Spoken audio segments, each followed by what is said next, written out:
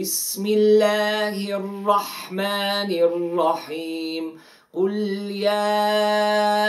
أيها الكافرون لا أعبد ما تعبدون ولا أنتم عابدون ما أعبد ولا أنا عابد ما عبدتم ولا أنتم عابدون ما أعبد لكم دينكم ولي دين